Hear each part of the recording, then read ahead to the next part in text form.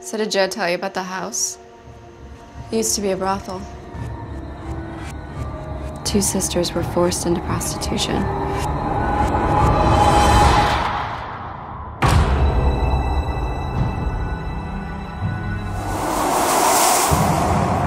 Well, if he didn't tell you about the house, then he certainly didn't tell you about Alice.